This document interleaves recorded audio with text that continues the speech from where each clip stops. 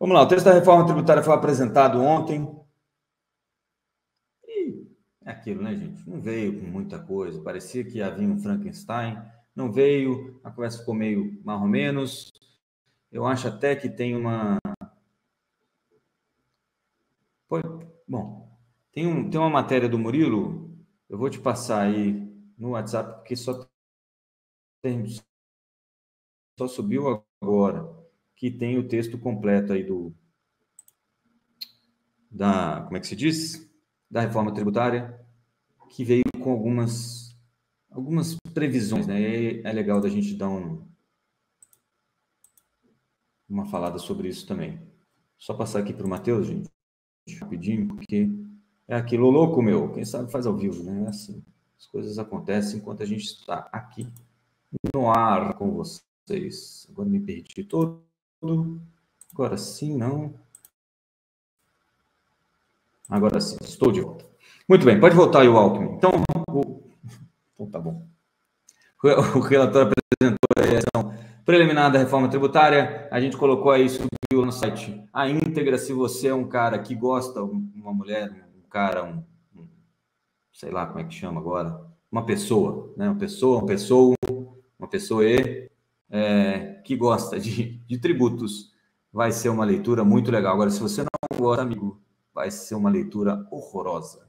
O, e aí tem previsão ali de três faixas de, de alíquotas para esse VA aí, que vai ser, vai ser chamado de IBS, né, que é Imposto sobre Bens e Serviços, que vão substituir cinco tributos que são é, ICMS, PiscoFins, IPI e ISS.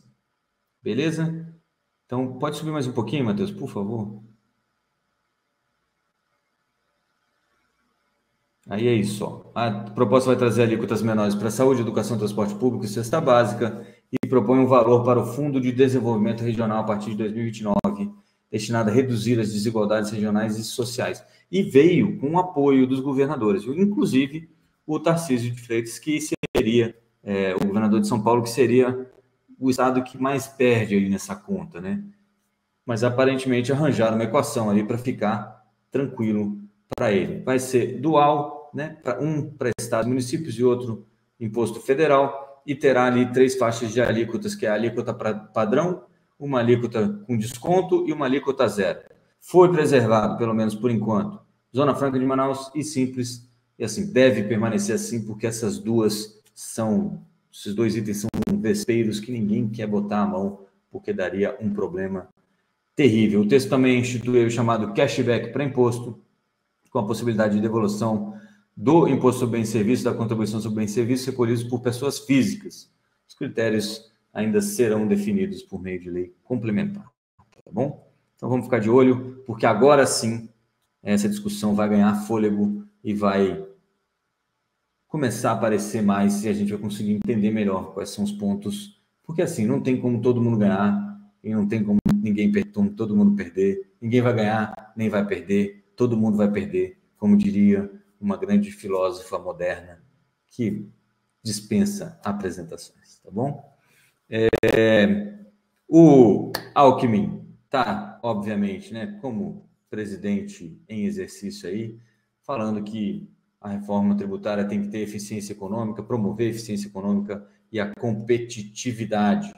É uma pauta do governo que agora é a pauta prioritária, diz o, o Estamos confiantes que a próxima discussão e votação será a reforma tributária, essencial para a eficiência econômica e a competitividade. Lira já disse que vai votar a reforma tributária na primeira semana de julho. Preste bem atenção. Primeira semana de julho, amigo, é a semana, tem uma semana de discussão e lá vamos nós. Mas, na verdade, todo mundo, aparentemente, já vinha discutindo antes de chegar para a gente. Né? Por quê? Né? Porque o povo precisa se manifestar sobre isso. Quanto mais rápido passar pelo povo, melhor, porque ninguém vai entender coisa nenhuma. E depois a gente só paga a conta. Os estados querem 75 bi no, do governo federal aí, no, no, naquele fundo de. Como é que eles chamaram isso? Fundo é um fundo de regulação, né, para equilibrar as perdas e ganhos dos estados com as mudanças, aí fundo de desenvolvimento regional. E a proposta da equipe econômica é um aporte de 40 bilhões de reais. O Carlos Eduardo Xavier, aí, que é o presidente do CONCEFAS, que é o Comitê Nacional de Secretário de Fazenda, disse que o pleito é um fundo financiado exclusivamente pela União. E levou, hein? Levou. Vai ser financiado pela União.